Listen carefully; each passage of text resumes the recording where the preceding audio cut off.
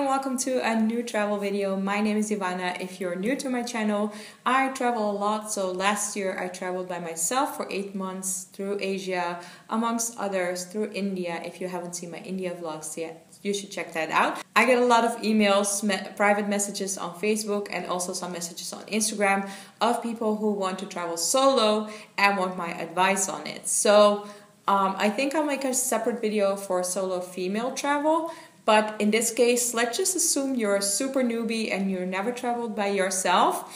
I just want to give you my short recommendations on where to start and what to think about when you want to travel solo. So, the first thing I would recommend if you have never ever traveled solo is to try out a destination that is a little bit out of your comfort zone, but not too much. So the first time that I traveled solo, I went to Barcelona, which is a European country. They have the euro. Um, I've been to Spain before with my parents and with with friends, so it was not an unfamiliar culture or city for me to go to. Well, actually, I haven't been to Barcelona before, but you know, it was not like a world of difference like Asia would be.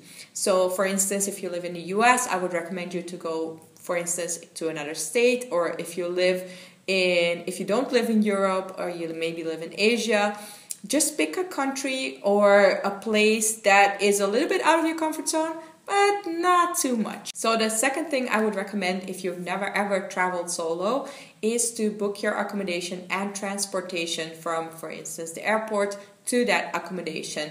I still do this even though I've traveled solo a lot. When you're traveling solo for the first time, you already have so much stress and so many things to think about that personally, I didn't feel like being that adventurous to arrive in a new place and then start looking for a safe place to lay my head during the night. So the internet is a fabulous place. Check out the reviews, check out your budget, and book that accommodation ahead. Then look into the transportation.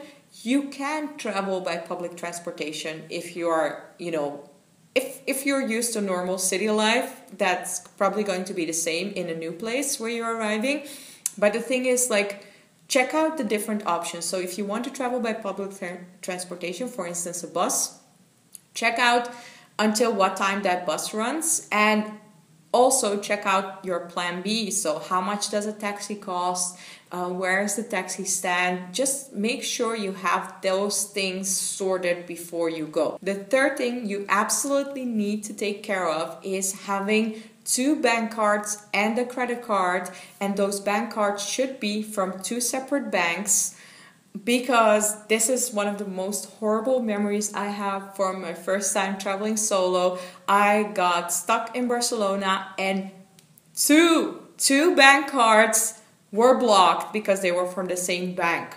So nowadays I travel with uh, with a bank card from one bank, a bank card from another bank, and also a credit card. Also, don't forget to bring the PIN code from your credit card because yes, I had my credit card with me in Barcelona, but I didn't have the PIN code, so it still was no use. I still have to make a story time video about that because it was a traumatizing experience and I, I need to share it for your entertainment and maybe you will learn something from it as well. The fourth thing I would recommend you if you're going to travel solo by yourself is to maybe, like even in your hometown, try out eating by yourself because when you're doing that for the first time, for me, for me personally, it was a very unpleasant experience. You just have to get over that threshold that eating by yourself is weird because the first time it will definitely be weird. And I can also highly recommend you to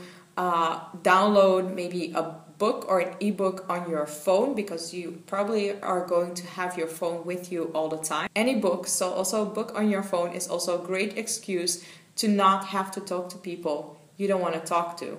So this one time, this was not my first time traveling, but this this time I went to Egypt and apparently it was very weird for the staff to see a girl traveling by herself. So constantly I would get those questions like why are you here by yourself and la la la la and all those things. And I was just like I'm reading a book. So I'm sorry, I'm just reading a book right now. I don't want to talk about this. I think this would be the most basic things I would recommend to a friend if they would ask me, like, what do I absolutely need to know before I travel by myself for the first time?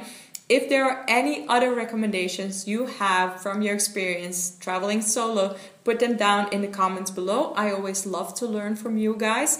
This so this is just the basics. I can also make a follow-up video on some hardcore solo traveling uh, tips. If you want that, please put a thumbs up. And also, if you would like a solo female travel video, put a thumbs up or just let me know down in the comments below. Thank you so much for watching and don't forget to click that subscribe button if you're new to my channel. I make travel vlogs every day that I'm traveling and also on Saturdays I have a travel related video and on Sundays I have a road back to India's video because I'm going back to India end of September and I'm very very excited for that and I would love to take you with me if you wanna. Bye!